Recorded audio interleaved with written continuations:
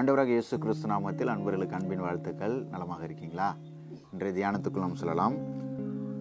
ரோமர் பவுல் ரோமர்களுக்கு எழுதிய நிருபம் பதினோராவது அதிகாரம் இருபத்தி நாலு இருபத்தைந்து. படிங்க. சுபாவத்தின்படி காட்டொலிவ மரத்திலிருந்து நீ வெட்டப்பட்டு சுபாவத்திற்கு விரோதமாய் நல்ல ஒலிவ மரத்திலே ஒட்ட வைக்கப்பட்டிருந்தபடியால் சுபாவ கிளைகளாகி அவர்கள் தங்கள் சுய ஒலிவ மரத்திலே ஒட்டப்படுவது அதிக நிச்சயம் அல்லவா ஆமென். சுபாவத்தின்படி காட்டொலிவ மரத்திலிருந்து நீ வெட்டப்பட்டு சுபாவத்தின்படி நாம் காட்டொலிவ மரமா? சுபாவத்தின்படி நம்முடைய குணம் பற்றி இதில் சொல்லப்பட்டிருக்கு காட்டொலிவ மரம். சுபாவத்திற்கு விரோதமாய் நல்ல ஒளிவு ஒளிவு மரத்தில் நீங்கள் ஒட்ட வைக்கப்பட்டிருந்தால் சுபாவத்தின்படி காட்டொழிவு மரம் ஆனால் சுபாவத்திற்கு விரோதமாய் நல்ல ஒளிவு மர ஒளிவு மரத்தில் நாம் ஒட்ட வைக்கப்பட்டிருக்கிறோம். அந்த கான்செப்டை நம்ம எடுத்து போய் இன்னைக்கு தியானிக்க போகிறோம் சுபாவ கிளைவைகளாகி அவர்கள் தங்கள் சுய ஒளிவு மரத்தில் ஒட்ட வைக்கப்படுவது அதிக நிச்சயம் அல்லவா? மேலும் சகோதரரே நீங்கள் உங்களை புத்திமான்கள் என்று எண்ணாதபடிக்கு ஒரு ரகசியத்தை நீங்கள் அறிய வேண்டும் என்றிருக்கிறேன். அது வரல நம்ம வைத்துக்கொள்வோம் இன்னொரு வசனம் அதுக்கு ரிலேட்டடாக வாசிக்கலாம். நீதிமொழிகள் இருபத்தி ஏழாவது அதிகாரம் இருபத்தி ரெண்டாவது வசனம். மூடனை உரலில் போட்டு உலக்கையினால் நொய்யோடே நொய்யாய் குத்தினாலும் அவனுடைய மூடத்தனம் அவனை விட்டு நீங்காது. அவனுடைய மூடத்தனம் அவனை விட்டு நீங்காது. மூடனை வந்து என்ன தான் அவன் மூடத்தனத்தை மாற்றுவதற்காக என்ன தான் கடினமான போதனைகளை கொடுத்தாலும் இல்லை கடினமான சிகிச்சைகளை செய்தாலும் அவனுடைய மூடத்தனம் என்ன பண்ணாதான் விலகாது மாறாது என்று வசனம் சொல்கிறது. சில இதை ப- இதை பற்றி நம்ம யோசிக்கலாம். ஜோம் பண்ணி ஆரம்பிப்போம் ஜோம் பண்ணுவோம். பரிசுத்த பிதாவே முக்கு ஸ்தோத்திரம். இந்த காலை நேரத்தில் உங்களுடைய சமூகத்தில் நாங்கள் வருகிறோம். எப்பொழுதெல்லாம் உங்களுடைய சமூகத்தில் வருகிறோமோ அப்பொழுதெல்லாம் உங்களுடைய பிரசனத்தை நாங்கள் நிரப்புகிற தேவன். இயேசுவே உங்களுடைய தெய்வீக பிரசனத்தினால் எங்களை நிரப்புவீராக. இந்த நாளை ஆசீர்வாதமான நாளாக எங்களுக்கு மாற்றி தருவீராக. வேதத்தின் வெளிச்சத்தை எங்களுக்கு காட்டுவீராக.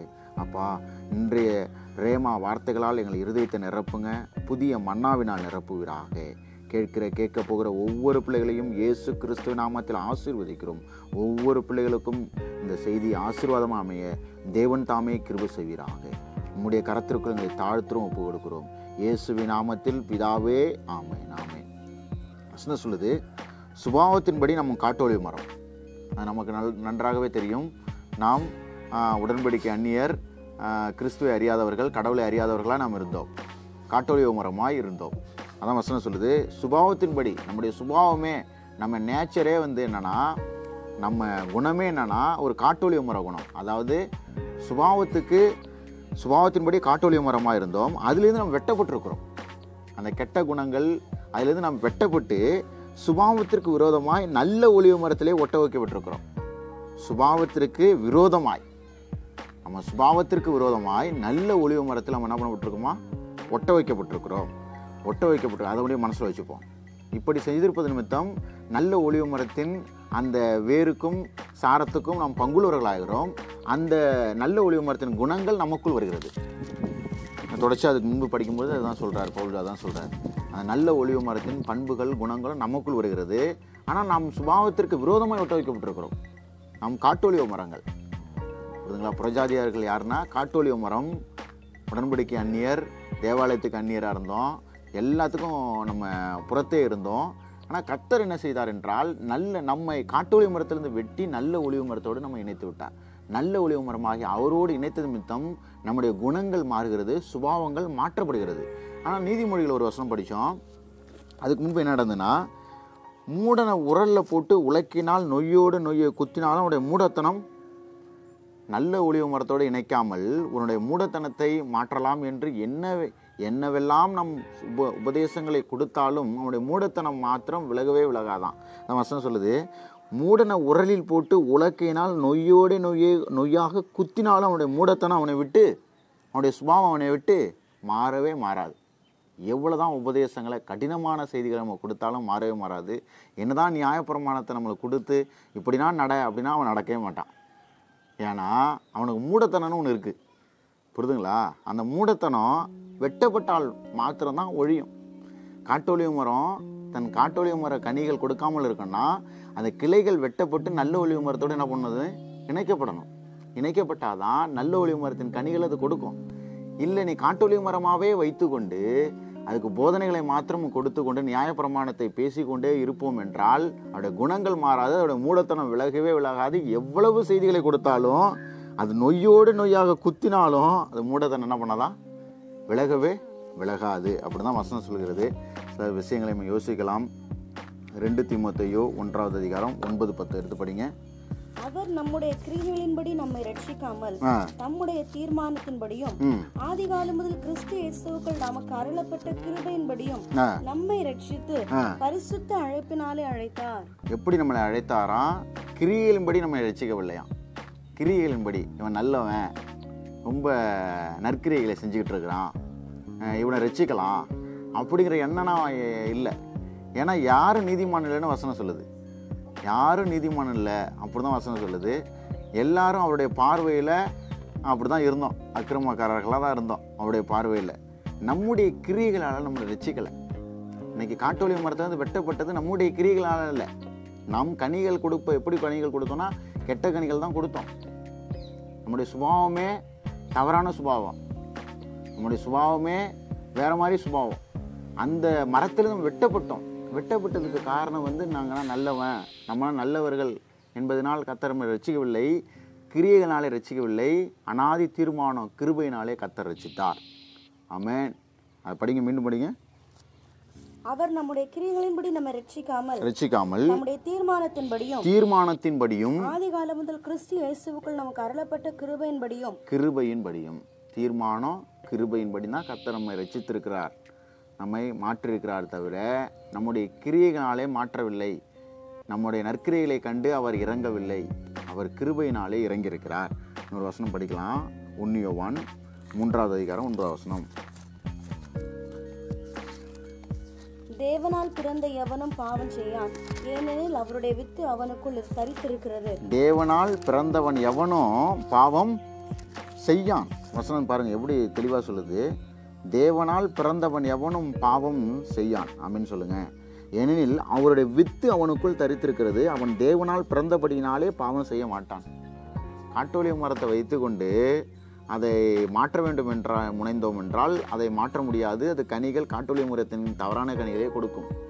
ஆனால் அந்த காட்டொலி மரத்தின் கிளைகள் வெட்டப்பட்டு அது நல்ல ஒளிவு மரத்தோடு இணைக்கப்பட்டிருக்கும் பொழுது அது நல்ல கனிகளை கொடுக்கும். பொழுது என்ன நடந்திருக்கிறது என்றால் டிஎன்ஏ மாற்றப்பட்டிருக்கிறது. இயேசு கிறிஸ்து ரச்சகராக ஏற்றுக்கொண்ட நம்முடைய ஆவி மாற்றப்பட்டிருக்கிறது. புதிதான ஆவியை உள்ளத்தில் பெற்றிருக்கிறோம். டிஎன்ஏ நம்முடைய நேச்சரையே கத்தர் மாற்றிருக்கிறார். புரியுதுங்களா இன்றைக்கி நேச்சரே மாற்றி வைத்திருக்கிறார். வசனம் சொல்லுது? தேவனால் பிறந்தவன் நாம் தேவனால் பிறப்பிக்கப்பட்டிருக்கிறோம். தேவனால் பிறந்த எவனும் பாவம் செய்யான். அப்படின்னு வசனம் சொல்லுது. ஏனெனில் அவருடைய வித்து அவனுக்குள் தரித்திருக்கிறதாம். அவருடைய வித்து எங்கே இருக்கு இன்னைக்கு? அந்த நல்ல ஒளிவு மரத்தின் வித்து. இன்னைக்கு காட்டு ஒளிவு மரமாக அன்று இருந்தோமே நம்முடைய வித்துக்குள் ஒன்றாகிவிட்டது. ஆகையால் நாம் பாவம் செய்ய மாட்டோம். புரிதுங்களா பாவம் செய்ய மாட்டோம். ஏனென்றால் அவருடைய வித்து நமக்குள் காணப்படுகிறது. அப்படின்னு சொல்லுங்கள் அவருடைய வித்து நமக்குள் காணப்படுகிறது. சிங்கம் சிங்கத்திற்கு சிங்கத்தின் குட்டிகளுக்கு கர்ச்சிக்க கற்றுக் கொடுக்க வேண்டிய அவசியம் இல்லவே இல்லை. மீன்களுக்கு மீன் குட்டிகளுக்கு நீந்த கற்றுக் கொடுக்க வேண்டிய அவசியம் இல்லவே இல்லை. ஏனென்றால் அவருடைய வித்து அதற்குள் இருக்கிறது. மீன் வித்து மீனுடைய மீனுடைய குட்டிகளுக்கு இருக்கிறது. அதே போல் சிங்கத்தின் வித்து சிங்கத்தின் குட்டிகளுக்கு இருக்கிறது. அந்த வித்து கற்றுக் கொடுக்கும்.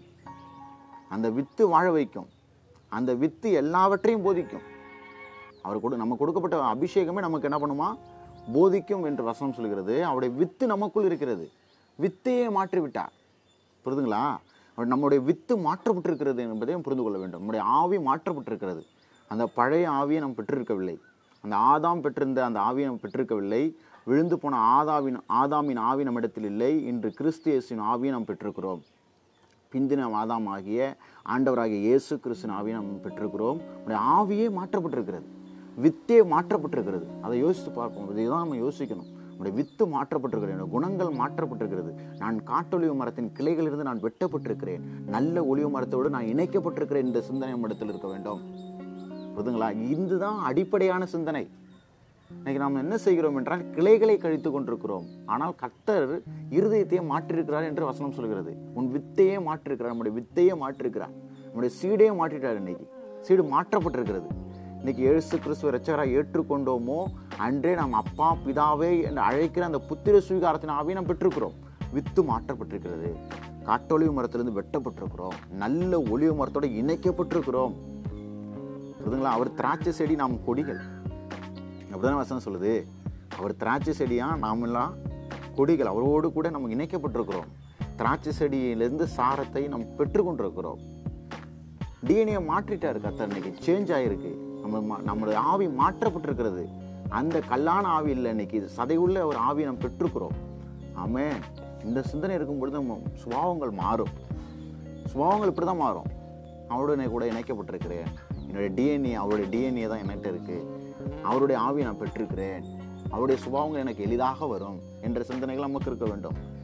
இல்லை என்றால் உலக்கையை வைத்து உரலை வைத்து உலக்கையெல்லாம் எவ்வளவுதான் அடித்தாலும் சுபாவங்கள் மாறவே மாறாது. சிலருக்கு சுபாவங்கள் மாறவே மாறாது. எவ்வளோ தான் நீங்கள் கடினமாக பேசினாலும் கடினமான ஒரு நியாயப்பிரமான செய்திகளை கொடுத்தாலும் அவர்களுக்கு சுபாவங்கள் மாறவே மாறாது. அப்படி தான் வசனம் சொல்லுது.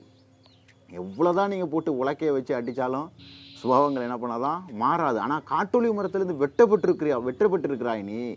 நீ வெட்டப்பட்டு விட்டாய் பழைய சுபாவங்கள் துண்டிக்கப்பட்டு விட்டது. நீ நல்ல சுபாவங்களை கொண்ட கிறிஸ்துவசோடு இணைக்கப்பட்டிருக்கிறாய். அவருடைய அவருடைய சாரம் உனக்குள் வந்து கொண்டிருக்கிறது. அவருடைய டிஎன்ஏ உனக்குள் வந்து கொண்டிருக்கிறது என்ற சிந்தனை வரும்பொழுது ஒரு வெளிப்பாடு வரும்பொழுது நம் இருதயம் மாறும் நம்முடைய கிரியைகள் மாறும். ஆமேன். இன்னொரு வசனம் படிக்கலாம். ரோமர் எட்டாவது அதிகாரம் பத்தொம்போதுலேருந்து மேலும் தேவனுடைய புத்திரர் வெளிப்படுவதற்கு சிருஷ்டியானது மிகுந்த ஆவலோட காத்து கொண்டிருக்கிறது. அதேனென்றால் சிருஷ்டியானது அழிவுக்குரிய அடிமைத்தனத்தினின்று விடுதலையாக்கப்பட்டு தேவனுடைய பிள்ளைகளுக்குள்ளே மகிமையான சுயாதீனத்தை பெற்றுக்கொள்ளும் என்கிற நம்பிக்கையோட அந்த சிருஷ்டியானது சுய இஷ்டத்தினாலே அல்ல கீழ்ப்படுத்தினவராலேயே மாயைக்கு கீழ்ப்பட்டிருக்கிறது. பாருங்க தேவனுடைய புத்திரர் வெளிப்படுவதற்கு சிருஷ்டியானது மிகுந்த ஆவலோடே காத்து கொண்டிருக்கிறது. தேவனுடைய புத்திரர்கள் வெளிப்படுவதற்கு சிருஷ்டி எல்லாம் ஆவலோடு காத்து கொண்டிருக்கிறதா? தேவனுடைய புத்திரர்கள் வெளிப்படணும். அந்த தேவனுடைய சாயல் ஏன்னா காட்டொளி மரத்தில் வெட்டப்பட்டு விட்டோம் நல்ல ஒளிவு மரத்தில் இணைக்கப்பட்டிருக்கிறோம். அவருடைய சாயல் நம்ம இன்று காணப்படுகிறது. அவருடைய தகப்பனுடைய சாயல் பிள்ளைகளுக்கு காணப்படுகிறது. அதே போல் அவருடைய சாயல் நமக்குள்ளே காணப்படுகிறது. வசனம் என்ன சொல்லுதுன்னா தேவனுடைய புத்திரர் வெளிப்படணும்.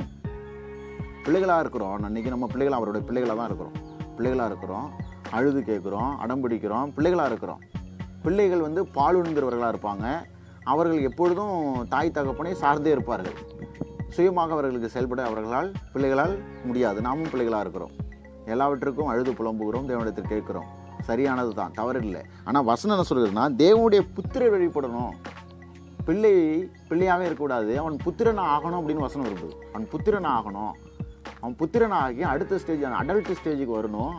அவனுடைய தகப்பனுடைய அதிகாரம் அவனுக்கு இருக்குது தேவனுடைய சாயல் தகப்பனின் சாயல் அவனுக்கு இருக்குன்னு புரிந்து கொண்டு அந்த அதிகாரத்தை எடுத்து அவன் பயன்படுத்தும் பொழுது என்ன நடக்குன்னா இந்த சிருஷ்டி எல்லாம் காத்து கொண்டிருக்கிறதா இன்னைக்கு இந்த இந்த சிருஷ்டி எல்லாம் காத்து கொண்டிருக்கு. தேவனுடைய புத்திரர் வெளிப்படணும்னு காத்து கொண்டிருக்கான்.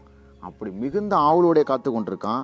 சிருஷ்டியானது அழிவுக்குரிய அடிமைத்தனத்திலிருந்து விடுதலையாக்கப்பட்டு தேவனுடைய பிள்ளைகளுக்குரிய மகிமையான சுயாதீனத்தை பெற்றுக்கொள்ளும் நம்பிக்கையோடையே அந்த சிருஷ்டியானது சுய இஷ்டத்தினால் அல்ல கீழ்ப்படுத்தினவராலே மாயைக்கு கீழ்ப்பட்டிருக்கிறது. இந்த சிருஷ்டி எல்லாம் மாயைக்கு கீழ்ப்பட்டிருக்கிறது. இந்த மாயைக்கு கீழ்ப்பட்டிருக்கிற சிருஷ்டியை தேவபுத்திரர்கள் வெளிப்பட்டு தான் என்ன பண்ணுவான்? அதை விடுதலையாக்கி அந்த மாயையிலிருந்து மகிமைக்கு கொண்டு வர வேண்டும் என்று வசனம் சொல்கிறது. ஹalleluya. இன்றைக்கி வெளிப்பட வேண்டியது தேவனுடைய புத்திரர்கள் வெளிப்பட வேண்டும். புரிதுங்களா? தேவனுடைய புத்திரர்கள் வெளிப்பட வேண்டும். அவருடைய சாயல் நமக்குள்ளே இருக்கிறது. அதை நாம் புரிந்து கொள்ள வேண்டும். அவருடைய சாயல் நமக்குள்ளே இருக்கிறது. ஆதாம் கத்தர் அவர் உண்டு செய்தார் என்று உண்டாக்கினார் என்று வசனம் சொல்கிறது. ஆதாம் தேவனுடைய சாயலாக இருந்தார். அந்த இமேஜ் ஆஃப் காட் ஆதாம் வந்து தேவனுடைய சாயல். அந்த சாயலை அவன் இழந்து போகிறத பார்க்குறோம். கீழ்ப்படியாமைக்குள் செல்லும் பொழுது ஆதாம் தன்னுடைய சாயலை இழந்து போனான். இழந்து போன அந்த தேவ சாயலை மனுக்குலத்திற்கு தருவதற்காய் ஆண்டவராக இயேசு கிறிஸ்து பூமிக்கு வந்தார். அவரை ஏற்றுக்கொண்டவர்களுக்கு அவர்கள் காட்டொலி மரத்தில் வெட்டப்பட்டு நல்ல ஒளி மரத்தோடு இணைக்கப்பட்ட இணைக்கப்படுவது நிமித்தம் அந்த சாயலை அவர்கள் பெறுகிறார்கள். அந்த தேவனுடைய சாயல் மீண்டும் கிடைக்கிறது. தேவனுடைய சாயல் கிடைக்கிறது. அப்பா பிதாவே என்று அழைக்கிற அந்த புத்திர சுவிகாரத்தின் ஆவி கிடைக்கிறது. அதை பெற்ற நிமித்தம் அவருடைய சாயல் நமக்குள்ளே வருகிறது. நம்முடைய நேச்சரே மாறுது. நம்முடைய சுபாவங்கள் மாறுது. எவ்வளவும் பாடுபட்டு மாறாத சுபாவங்கள். உலக்கையால் அடித்தும் மாறாத சுபாவங்கள் எளிதாக மாறுகிறது. காட்டொலிவு மரத்தில் வெட்டப்பட்டு நல்ல ஒளிவு மரத்தில் இணைக்கப்படும் பொழுது மாறுகிறது. சுபாவங்கள் மாறுகிறது. கிரியைகள் மாறுகிறது. எல்லாம் மாறுகிறது. தேவனுடைய புத்திரர்கள் வெளிப்படுவார்கள். எப்பொழுது வெளிப்படுவார்கள் என்றால் அவருடைய சுபாவம் முழுமையாக நம்மிடத்தில் வரும் பொழுது நாம் புத்திரனாக இருந்து இந்த பூமியில் செயல்படுவோம். செயல்படுவோம். அடிமைத்தனத்தில் இருக்கிற சிருஷ்டி அனைத்தையும் விடுதலை ஆக்குவோமா வசனம் சொல்லுது அடிமைத்தனத்தில் இருக்கிற சிருஷ்டிகளை நாம் விடுதலை ஆக்குவோம் அவைகள் மாயைக்கு கீழ்ப்படுத்தப்பட்டிருக்கிறது. புரியுதுங்களா மாயைக்கு கீழ்ப்படுத்தப்பட்டிருக்கிறது. அவைகளை விடுதலை ஆக்குவோம் ஹalleluya இன்னொரு வசனம் படிக்கலாம். ஒன்னியோவான் ஐந்தாவது அதிகாரம் நான்காவது வசனம்.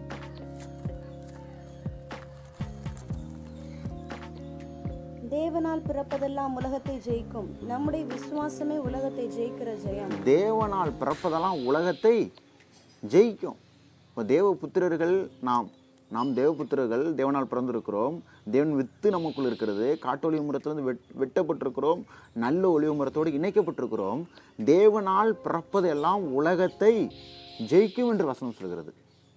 அப்படின்னா உலகத்தை ஜெயிப்போமா ஜெயிக்க மாட்டோமா? உலகத்திலிருந்து வெளிப்படுற அந்த கிரியைகளை ஜெயிப்போமா ஜெயிக்க மாட்டோமா? கண்டிப்பாக ஜெயிப்போம். ஏன்னா அவர் ஜெயிச்சார். ஏன்னா அவர் வசனம் சொல்கிற வசனம் சொல்கிறார். நான் உலகத்தை ஜெயித்தேன். அவர் உலகத்தை ஜெயித்தாராம் அதனால் நாமும் ஜெயிப்போம். ஏன்னா அவருடைய வித்து நமக்குள் காணப்படுகிறது. வித்து மாற்றத்தை நம்ம புரிந்து கொண்டால்தான் இது நம்ம வெற்றி உள்ள வாழ்க்கை வாழ முடியும். நம்முடைய வித்து மாற்றப்பட்டிருக்கிறது. நம்முடைய சீடு மாற்றப்பட்டிருக்கிறது. அவருடைய ஆவியை நாம் பெற்றிருக்கிறோம். நம்முடைய நேச்சரையை கத்தர் மாற்றி அமைத்திருக்கிறார் என்பதை புரிந்து கொள்ளும் பொழுது விளங்கி கொள்ளும் பொழுது எளிதாக வெற்றி பெறலாம். உலகத்தை ஜெயிக்கலாம். உலகத்திலிருந்து காணப்படுகிற மாயைகளை நாம் ஜெயிக்கலாம். இந்த உலகத்தில் காணப்படுற மாயைகளை ஜெயிக்கலாம். அவர் ஜெயித்தது போல ஜெயிக்கலாம். மீண்டும் படிங்க. தேவனால் பிறப்பதெல்லாம் உலகத்தை ஜெயிக்கும். நம்முடைய விசுவாசமே உலகத்தை ஜெயிக்கிற ஜெயம். பாருங்க தேவனால் பிறப்பதெல்லாம் உலகத்தை ஜெயிக்கும். அவரோட அவரால் நம்ம பிறப்பிக்கப்பட்டிருக்கிறோம். கண்டிப்பாக உலகத்தை ஜெயிக்கும் ஆமென்னு சொல்லுங்க. கண்டிப்பாக ஜெயிப்போம். இன்னைக்கு காணப்படுற எல்லா விஷயங்களும் மேலே வருவோம். ஜெயிப்போம். இன்னைக்கு கீழே நம்ம இருக்க மாட்டோம். மேலே வருவோம். கண்டிப்பாக ஜெயிப்போம். ஏன்னா அவருடைய வித்து நமக்குள் காணப்படுகிறது. அதுதான் நம்ம மைண்டில் வைக்கணும். அவருடைய வித்து நமக்குள் காணப்படுகிறது. அவருடைய வித்து நமக்குள் காணப்படுகிறது. தேவனுடைய புத்திரர்கள் நாம். தேவனுடைய புத்திரர்கள். அதை மனசில் வைங்க. தேவனுடைய புத்திரர்கள் நாம். அப்பா பிதாவே என்று அழைக்கிற அந்த புத்திர சுவிகாரத்தினாவை பெற்றிருக்கிறோம். தேவனுடைய புத்திரர்கள் நாம். மனசில் அதை எழுதணும். நான் தேவனுடைய புத்திரர். அவருடைய சார்பாக நான் நிற்கிறேன். அப்படின்னு சொல்லும் பொழுது சிருஷ்டி எல்லாம் மாயைக்கு கீழ்பட்டிருக்கிற சிருஷ்டியும் விடுதலையாக்கப்படும். விடுதலையாக்கப்படும். அவருடைய குணங்கள் நமக்குள்ளே இருக்குது அவருடைய குணங்கள் தான் நமக்குள்ளே இருக்குது அவர் செடி நான் கொடிகள். அவர் திராட்சை செடியாக இருக்க நம்மலாம் கொடிகளா இருக்கிறோம். புரியுதுங்களா? நான் இன்னைக்கு காட்டொலி மரத்தில் இருந்தது உண்மை காட்டொலி மரத்தின் கிளைகளாக இருந்தது உண்மை இன்னைக்கு அந்த கிளையில் வெட்டப்பட்டிருக்கிற நல்ல ஒளிவு மரத்தோட இணைக்கப்பட்டிருக்கிறேன் புதிதான ஆவியை நான் உள்ளத்தில் பெற்றிருக்கிறோம். புதிதான ஆவியை பெற்றிருக்கிறோம். அந்த ஆதாமின் ஆவியை பெற்றில்ல ஆதாமின் ஆவியை பெற்றில்ல விழுந்து போன ஆதாமின் ஆவியை நாம் பெற்றில்ல நாம் புதிதான ஆவியை பெற்றிருக்கிறோம். புதிதான ஆவி அப்பா பிதாவே என்று அழைக்கிற ஆவி. புரிதுங்களா? பழைய ஏற்பாட்டு பரிசுத்தவான்கள் யாரும் அவர் அப்பா பிதாவின்னு அழைக்க முடியாது. ஆனால் நாம் அழைக்கலாம். ஏனென்றால் புதிதானாவை உள்ளத்தில் பெற்றிருக்கிறோம். அப்பா பிதாவே என்று அழைக்கிற அந்த புத்திர சுவிகாரத்தின் ஆவியை பெற்றிருக்கிறோம். காட்டொலிவு மரத்திலிருந்து வெட்டப்பட்டிருக்கிறோம். நல்ல ஒளிவு மரத்தோடு இயேசுவோடு நாம் இணைக்கப்பட்டிருக்கிறோம். நம்முடைய குணங்கள் சுபாவங்கள் எளிதாக மாறும் என்று மாறாத போல தோன்றலாம். சிலருக்கு இணைச்ச உடனே சுபாவங்கள் மா ஏன்னா பழைய அந்த சிந்தனைகள் வந்து கொண்டே இருக்கும். ஆனால் அவங்க வெட்டப்பட்டுறது உண்மை. காட்டொலிவு மரத்தது வெட்டப்பட்டிருக்கிறது உண்மை. நல்ல ஒளிவு மரத்தோடு இணைக்கப்பட்டிருக்கிறது உண்மை. சத்தியம். ஆனால் சில நேரத்தில் குணங்கள் மாறாது போல தோன்றும். ஆனால் நாளடைவில் அந்த குணங்கள் மாறும். நம்மே அறியாமல் மாறும். அந்த நல்ல ஒளிவு மரத்தின் குணங்கள் நமக்குள்ளும் வரும். அதன் கனி நல்ல கனிகளை கொடுக்க ஆரம்பிப்போம். ஆச்சரியமாக இருக்கும். நம்ம நாம அப்படி நடந்து கொண்டோம். நாம அப்படி வாழ்ந்து கொண்டிருக்கிறோம் என்று- என்று நமக்கே ஆச்சரியமாக இருக்கும். புரியுதுங்களா? ஏன்னா கத்தர் வந்து ஆதாம் எப்படி படைத்தா இருக்கும்போது யோசிக்கணும். ஏன்னா அப்படி புரிந்து கொண்டால் தான் தேவனுடைய புத்திரர்கள் வெளிப்பட முடியும். ஆதாம் எப்படி கட கத்தர் படைத்தார்? ஆதியாகமம் ரெண்டாவது அதிகாரம் இருபத்தாறு இருபத்தெட்டு படிங்க. இருபத்தாறுலேருந்து.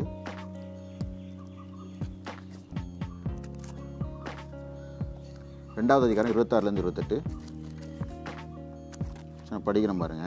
பின்பு தேவன் நமது சாயலாகவும் நமது ரூபத்தின்படியையும். மனுஷனை உண்டாக்குவோமாக. அவர்கள் சமுத்திரத்தின் மச்சங்களையும் ஆகாயத்து பறவைகளையும் மிருக ஜீவன்களையும் பூமி அனைத்தையும் பூமி மேல் ஊறும் சகல பிராணிகளையும் ஆளக்கடவர்கள் என்றார். தேவன் தம் பின்பு தேவன் நமது சாயலாகவும் நமது ரூபத்தின்படியும் மனுஷனை உண்டாக்குவோமாக. ஆமீன் சொல்லுங்க ஒன்றாவது அதிகாரம். நமது சாயலாகவும் நமது ரூபத்தின்படியும் மனுஷனை எப்படி கத்தர் உண்டு பண்ணாரா? தன்னை போல ஒருவரை உண்டாக்குனாரா? அவரை போல அவரை போலயே ஒருத்தர் ஒருத்தனை உண்டாக்குறாரு. இயேசு ப- கடவுள் எப்படி இருந்தாரோ அவரை போல உண்டாக்குறாரு. அவருடைய சாயல் ரூபத்தின்படி அந்த இமேஜ் ஆஃப் காடு அப்படியே வெளில வரான். அவர் எப்படி இருக்கிறாரோ அப்படியே வெளில வரான். அவர்கள் சமுத்திரத்தின் மச்சியங்களையும் ஆயத்து பறவைகளையும் மிருக ஜீவன்களையும் பூமி அனைத்தையும் பூமியின் மேல் ஊறும் சகல பிராணிகளையும் ஆழக்கடவர்கள் ஒரு ஆளுகிறவராக வைக்கிறார். ஆளு ஆளுகை திறன் வந்துட்டு இருந்துச்சு. ரூல் பண்ணுற அதிகாரத்தை கத்தர் வச்சார். ஆதாம் ஏவால சும்மா வைக்கல கத்தர். ஒரு ராஜாவை வச்சுருந்தா அந்த பூமிக்கு. ஒரு ஆளுகை செய்கிற திறன். ஆளுகை செய்கிறவனாக இருந்தான். ஆளுகை செய்கிறவனாக இருந்தான். தேவன் தம்முடைய சாயலாக மனுஷனை சிருஷ்டித்தார். அவனை தேவ தேவ சாயலாகவே சிருஷ்டித்தார். ஆணும் பெண்ணுமாக அவர்களை சிருஷ்டித்தார். அவர்களை நோக்கி நீங்கள் பழுகி பெருகி பூமியை நிறு நிரப்பி அதை கீழ்ப்படுத்தி சமுத்திரத்தின் மச்சங்களையும் ஆகாயத்து பறவைகளையும் பூமியின் மேல் நடமாடுகிற சக ஜீவ ஜந்துகளையும் ஆண்டு கொள்ளுங்கள். ரூல் பண்ணு என்று சொல்லி தேவன் அவர்களை ஆசீர்வதித்தார். பின்னும் தேவன் இதோ பூமியின் மேல் எங்கும் விதை தரும் அப்படின்னு வசனம் போகுது. ஆளுகை செய்கிறவரான தான் கத்தர் ஆதாம வச்சார். ஒரு ஆளுகை செய்கிறவனா கத்தர்த்துவம் அவன்கிட்ட வெளிப்பட்டது. கத்தர்கிட்ட இருந்த விஷயங்கள் ஆதாம்கிட்ட வெளிப்பட்டது. ஆளுகை செய்கிறது கத்தருக்குரியது ராஜாவுக்குரியது. அது ஆதாம்கிட்ட வெளிப்படுது. ஏன்னா தேவ சாயலாக உண்டாக்கப்பட்டான். புரிதுங்களா? அவன் விலங்குகளுக்கு எல்லாம் பெயரிட்டான வசனம் சொல்லுது. அவன் எல்லாத்துக்கும் பெயரிட்டானான் பாருங்கள் இது பெயரிடுறது எல்லாம் யாருடைய பண்பு? யாருடைய சுபாவம்? கத்தருடைய சுபாவம். அது ஆதாமிடம் வெளிப்படுகிறது. தேவ சாயல்ங்க அவன். தேவனுடைய புத்திரனா இருந்தான். புரிதுங்களா? அந்த தேவ புத்திரத்தை அவன் அந்த தேவ சாயலை பிசாசுக்கு கீழ்ப்படிந்து அதை இழந்து போகிறத பார்க்குறான் அவனுடைய சந்ததியினரே தேவ சாயலை இழந்து போனார்கள். ஆனால் மீண்டும் அந்த தேவ சாயலை கொடுக்கவே ஆண்டவராக இயேசு கிறிஸ்து பூமிக்கு வந்தார். அவரை ஏற்றுக்கொண்டவர்கள் பிள்ளைகள் ஆகும்படி அதிகாரத்தை கத்தர் கொடுத்திருக்கிறார். அதிகாரத்தை கொடுத்திருக்கிறார். அந்த தேவ சாயல் மீண்டும் வரும். இன்னைக்கு இந்த தேவ சாயலை இழந்து போன அந்த தேவ சாயலை மனுக்குலத்துக்கு கத்தர் மீண்டும் கொடுக்கிறார். ஆதாம் இழந்து போன தேவ சாயல் மீண்டும் நமக்குள் வெளிப்படுகிறது. மீண்டும் அந்த கர்த்தத்துவம் நமக்குள்ள வெளிப்படுறத எல்லாம் பார்க்க போகிறாங்க பாருங்கள் சிருஷ்டி எல்லாம் அவனுக்கு அடிமையாக இருந்திருக்கு. ஆதாம் எல்லாத்துக்கும் கீழ்ப்படுத்தி இருந்திருக்கான் எல்லா சிருஷ்டி அவனுக்கு அவன் அதிகாரப்படுத்தி அதை ஆண்டிருக்கிறான். ஆனால் இன்னைக்கு சிருஷ்டி எல்லாம் நமக்கு ஆப்போசிட்டாக வரதை பார்க்குறோம். வெட்டுக்கிளி நமக்கு ஆப்போசிட்டாக வருது. சிருஷ்டி ஆதாமுக்கு கீழ்ப்படிந்து இருந்திருக்கு இன்னைக்கு சிருஷ்டி எல்லாம் யாருக்கு எதிர்மறையாக வருது எதிர் எதிர்த்து வருது? வெட்டுக்கிளிகள் மனிதனை எதிர்த்து வருகிறது. கண்ணுக்கே தெரியாத வைரஸுக்கு மனிதனை எதிர்த்து வருகிறது. எல்லாவற்றையும் நாம் கீழ்ப்படுத்த வேண்டும். அவைகள் அடிமைத்தனத்திற்கு மாயைக்கு கீழ்ப்படுத்தப்பட்டிருக்கிறது. அதை அவைகளை நாம் விடுவிக்க வேண்டும். தேவ புத்திரர்களால் தான் அது முடியுமா? பாலுங்கிறவர்களால் முடியாது. தேவ பிள்ளைகளால் முடியாது. தேவ புத்திரர்கள். தேவ புத்திரர்கள் வெளிப்படும் வெளிப்பட வேண்டும் என்று சிருஷ்டியெல்லாம் காத்து கொண்டிருக்கிறதா? கற்ப வேதனைப்படுகிறதா ஹலையிலுயா எழுந்து போன அந்த ஆதாமோட அந்த தேவ சாயலை மீண்டும் கர்த்தர் நமக்கு கொடுக்க வல்லவராக இருக்கிறார். அந்த சாயல் வரும்பொழுது அதிகாரமிக்கணும் நம்ம இருப்போம் ஆளுகை செய்கிறோனா இருப்போம். ஆமேன். ஆளுகை செய்கிறோனா இருப்போம். ஆளுகை செய்வோம். அந்த ஆளுகை திறன் மீண்டும் நமக்குள்ளேருந்து வெளிப்படும். ஆமேன். ஹலையிலுயா வார்த்தையை யோசிப்போம் இதை மனதில் வச்சு யோசிப்போம். இன்னைக்கு தேவ புத்திரர்கள் வெளிப்படணும் கத்தர் விரும்புகிறார். என்னதான் நம்ம உரலை வச்சு உழைக்கால் அடித்தாலும் சிலருடைய குணங்கள் மாறாது. ஏனென்றால் அவர்கள் காட்டொளி மரத்தோடு இருக்கிறார்கள். ஆனால் வெட்டப்படும் பொழுதுதான் நல்ல வெட்டப்பட்டு வெட்டப்பட்டு நல்ல ஒளிவு மரத்தோடு இணைக்கப்படும் பொழுதுதான் குணங்களும் சுபாவங்களும் மாறும். குணங்களும் சுபாவங்களும் ஏன் மாறவில்லை? நல்ல ஒளிவு மரத்தோடு இணைக்கப்பட்டிருக்க வேண்டும். அவர் செடி நாம் கொடிகள். இணைக்கப்பட்டிருக்கும் பொழுது அவருடைய சாரம் நமக்குள் வரும். அவருடைய சாரம் நமக்குள் வரும். அவருடைய குணங்கள் நமக்குள் நம்மையே அறியாமல் அவருடைய டிஎன்ஏ நமக்குள் வரதான் நம்ம உணர முடியும். அவருடைய சிந்தனைகளும் அவருடைய அவருடைய குணங்களும் அந்த அன்பும் ஆவியின் கனியும் நம்மிடத்தில் வெளிப்பட்டால் நம்ம பார்க்க முடியும். புரிதுங்களா ஏன்னா வெட்டப்பட்டிருக்கிறோம். காட்டொலி மரத்தில் வெட்டப்பட்டது உண்மை. அதை மனதில் வைக்க வேண்டும். வெட்டப்பட்டிருக்கிறோம். பழைய சுபாவங்கள் வெட்டப்பட்டிருக்கிறது. நல்ல சுபாவம் கொண்ட கிறிஸ்துவசோடு இணைக்கப்பட்டிருக்கிறோம். ஆமாம் இணைக்கப்பட்டிருக்கும் பொழுது என்ன நடக்கும் என்றால் அவருடைய சுபாவங்கள் நமக்குள் வரும் அவருடைய சாயல் தேவ சாயல் நமக்குள் வந்து வெளிப்படும். நாம் அவர் சிங்கம் என்றால் நாம் சிங்க குட்டிகளாக எழும்புவோம் நாமும் கர்ஜனை செய்வோம் நாமும் ஆளுகை செய்வோம். என்பதை விளங்கிக் கொள்ள வேண்டும் புரிந்து கொள்ள வேண்டும். வார்த்தையாக நம்ம சோம் பண்ணி முடிக்கலாம் சோம் பண்ணுவோம் பரிசுத்த பிதாவே உமக்கு ஸ்தோத்திரம். இந்த காலை நேரத்தில் இயேசுவே உங்களுடைய வார்த்தை மூலம் எங்களிடத்தில் நீ பேசியிருக்கிறீங்க. தேவனே நாங்கள் காட்டோலி மரத்திலிருந்து வெட்டப்பட்டிருக்கிறோம் என்பது உண்மை. சத்தியம் நாங்கள் நல்ல ஒளிவு மரத்தோடு இணைக்கப்பட்டிருக்கிறோம் என்பது அதோட ஆமாப்பா நீங்கள் எங்கள்கிட்ட பேசுகிறீங்க நல்ல ஒளிவு மரத்தோடு இணைக்கப்பட்டிருக்கிறோம். நல்ல ஒளிவு மரத்தின் சாரம் எங்களுக்குள் வந்திருக்கிறது. தேவ சாயல் அந்த நல்ல ஒளிமரத்தின் சாயல் எங்களுக்குள் வந்து கொண்டிருக்கிறது. எப்பொழுதும் வந்து கொண்டிருக்கிறது. நாங்கள் புத்திரர்களாய் மாறி ஆளுகை செய்கிறவர்களாய் இருக்க வேண்டும் என்று கத்தர் விரும்புகிறீங்க கேட்டுக்கொண்டிருக்கிற ஒவ்வொரு பிள்ளைகளையும் ஆளுகை செய்கிறவர்களாய் மாற்றுவீராக. அப்பா தானும் அடிமைத்தனத்திலிருந்து வெளியே வந்து அடிமைத்தனத்தில் அகப்பட்டிருக்கிற சிருஷ்டிகளை விடுவிக்கிற அப்பா ஒரு ஆளிகை திறனை எங்களுக்குள்ள வைத்திருக்கிறீங்க. ஆதாமுக்குள்ள அதான் வச்சுருந்தீங்க. அதே ஆளிகை திறனை எங்களுக்குள்ளும் வச்சுருக்கிறீங்க இயேசுவே. அது வெளிப்படுவதாக இயேசுவின் நாமத்தினால் இந்த கடைசி காலங்களில் அது வெளிப்படுவதாக திரளான தேவ புத்திரர்கள் வெளிப்பட பரிசுத்தாவின உதவி செய்வீராக. கேட்கிற கேட்க போகிற ஒவ்வொரு பிள்ளைகளுக்கும் இந்த செய்தி ஆசீர்வாதமாய் அமைவதாக உம்முடைய கரத்திற்கு எங்களை தாழ்த்தி ஒப்பு கொடுக்கிறோம் இயேசுவின் நாமத்தில் பிதாவே ஆமே ஆமே